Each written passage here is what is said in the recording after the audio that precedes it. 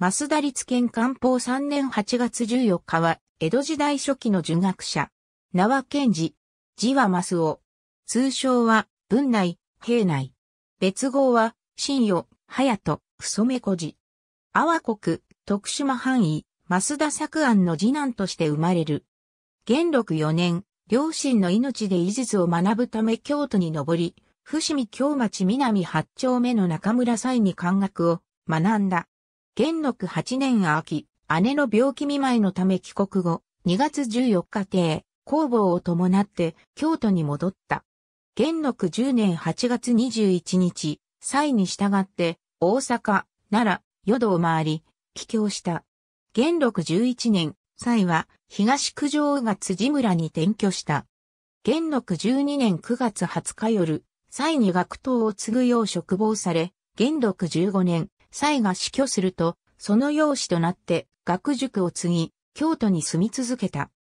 宝永5年3月、宝永の大火に離祭し、徳島に帰って、範囲の兄小慶宅に滞在していたところ、9月18日、阿波藩主、八須賀綱乗りに15国七人淵で出資を命じられ、綱乗りと弱視、八須賀義武の時効を務めた。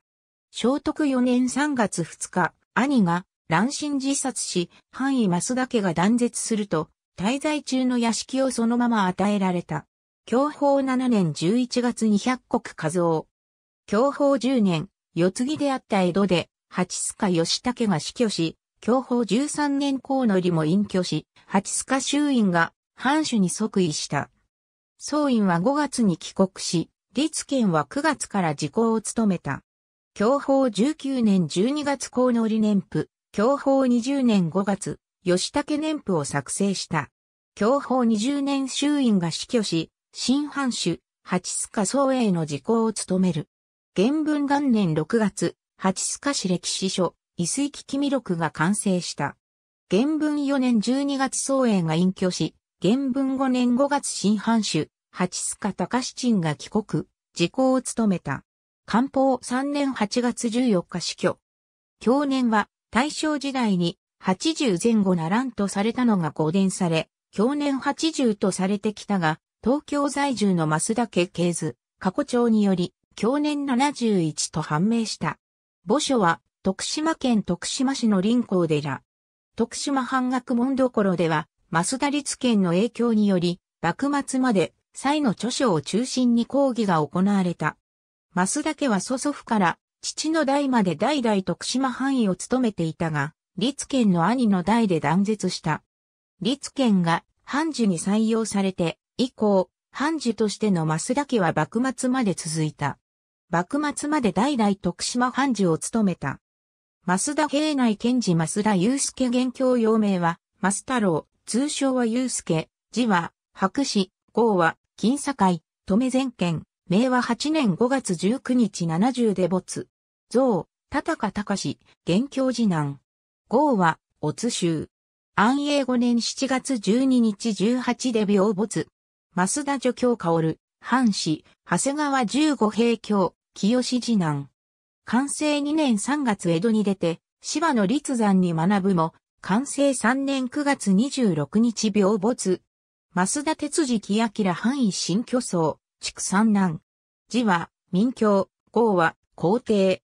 明和7年生、完成4年8月江戸に出て、芝の立山に学ぶ。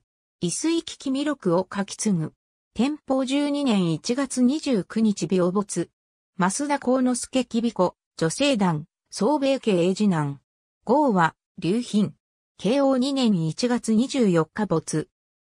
増田の積集、ABCDEFGHIJKLMN、OPQRSTUVWXYZ、AAB、AC 宿竹地貞夫、増田立県の自責と学問、徳島大学学芸器用人文化学28、1978年、上川加野江倉編、阿波国際近文明資料上川加野江倉、大正4年岡本大南、家畜州書簡録、吉川道、昭和30年、ABCDEFGHIJKLMN、OB 竹地貞夫、増田立県の自責と学問、徳島大学学芸起用人文化学29、1979年。